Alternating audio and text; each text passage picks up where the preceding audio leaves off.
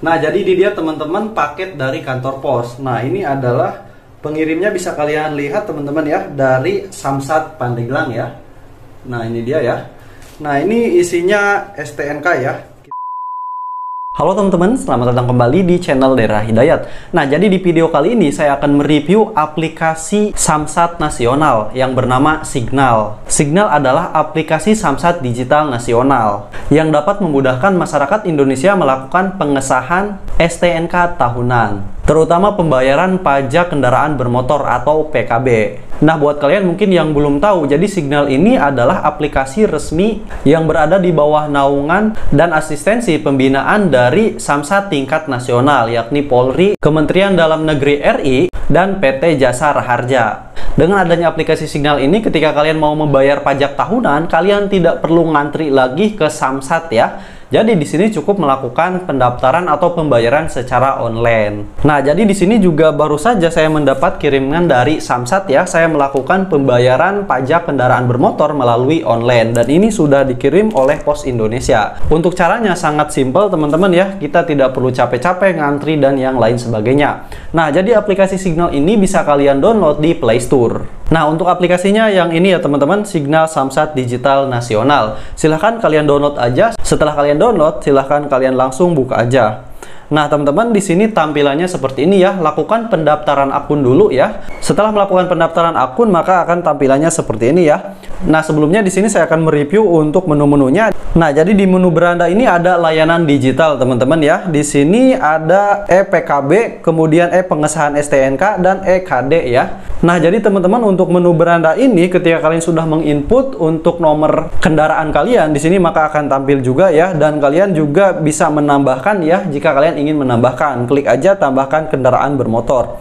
Nah, di sini ada layanan informasi, ada cara bayar, ada peraturan, kemudian info samsat, dan di sini pertanyaan, teman-teman ya. Nah, kemudian di sini ada menu transaksi, Nah, di sini menu transaksi ini adalah riwayat transaksi ketika kita melakukan pengesahan PKB atau pembayaran ya. Jadi di sini ada riwayat yang sedang diproses. Ini saya melakukan pembayaran pajak secara online ya. Di sini statusnya sedang proses ya. Kalau misalkan kita sudah konfirmasi diterima, maka di sini akan muncul di transaksi teman-teman ya. Dan ini sudah datang teman-teman ya untuk fisik PKB-nya. Jadi di sini tinggal saya terima konfirmasi aja ya teman-teman.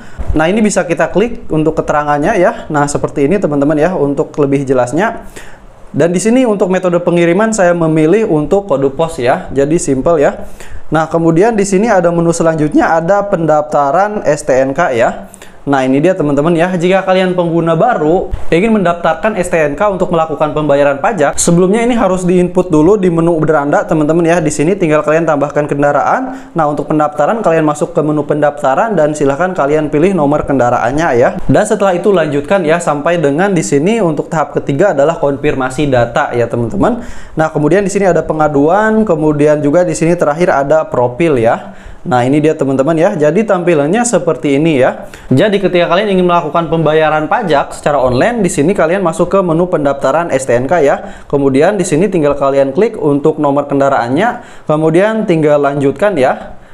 Nah setelah seperti ini, karena di sini sudah melakukan pembayaran, tidak berhasil didaftarkan. NRKB Anda sudah terdaftar, mohon agar menyelesaikan transaksi terlebih dahulu ya. Nah, ini dia teman-teman ya, saya sudah mendapatkan untuk bukti pembayarannya ya teman-teman. Nanti kita akan buka aja. Nah, baik langsung aja di sini kita akan membuka teman-teman ya paket dari Samsatnya. Nah, jadi di sini simpelnya ketika kalian melakukan pendaftaran secara online, kalian bisa melakukan atau meminta pengiriman STNK kalian, teman-teman ya. Bisa dikirim melalui pos ya. Kalian tinggal tunggu aja di tempat kalian ya, maka nanti akan diantar.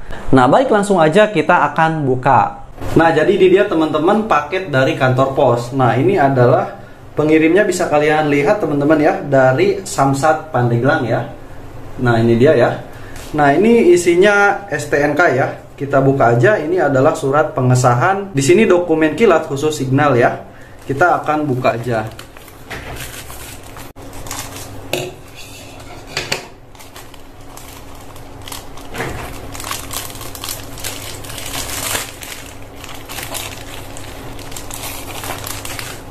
Popnya seperti ini ya bentuknya. Nah ini adalah STNK nya teman-teman ya. Oke Nah, di sini sebelumnya kita lihat dulu nih dari amplopnya sendiri. Kayak di sini eh, ada logo Pos Indonesia, Jasara Harja, kemudian kepolisian, sama apa nih ya kurang kelihatan. Kemudian di sini ada logo aplikasi Samsat Signal ya, digital nasional ya. Oke, di sini ada kode pengiriman mungkin ya. Oke, kemudian di belakangnya kita cek Nah, di belakangnya sendiri di sini ucapan terima kasih dan apresiasi yang sebesar-besarnya untuk Anda yang telah berkontribusi melaksanakan kewajiban membayar pajak kendaraan bermotor sebagai peran serta dalam membangun daerah. Signal Samsat Digital Nasional didukung oleh uh, Bomba Pasifik Indonesia ya. Nah, di sini juga ada alamat apa ini webnya ya Nah, di sini juga ada gambar aplikasi Samsat digitalnya ya. Nah, di sini kalau kalian butuh informasi yang lebih, kalian bisa cek aja teman-teman ya untuk alamat resminya. Kita akan buka aja. Oh ya, ini untuk STNK yang saya ya, yang pertama di sini yaitu 0305 2022 ya untuk masa berlakunya. Nah, di sini udah dikirim nih, udah diganti. Oke, kita buka aja.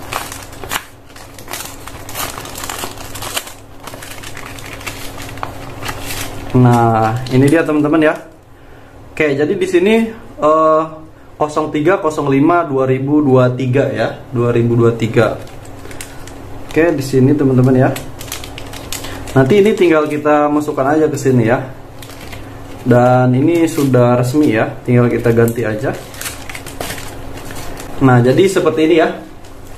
Oke, teman-teman dengan adanya aplikasi Signal ini kita bisa terbantu ya. Kita tidak perlu ngantri-ngantri dan untuk pembayaran pajaknya ini lebih simpel, lebih mudah ya, tidak sulit. Tinggal kalian download aplikasinya dan daftarkan STNK kalian. Tinggal selesaikan pendaftaran, kemudian minta pengiriman ya. Silahkan boleh kalian coba aja. Atau mungkin kalian mau melakukan pembayaran langsung ke kantor, kalian juga boleh ya. Tapi lebih simpel melakukan pembayaran seperti ini ya, pembayaran online ya. Oke teman-teman itu aja untuk video kali ini semoga dapat menambah informasi. Oke jika ada yang ditanyakan boleh kalian tanyakan aja di kolom komentar. Nah sampai jumpa di video selanjutnya.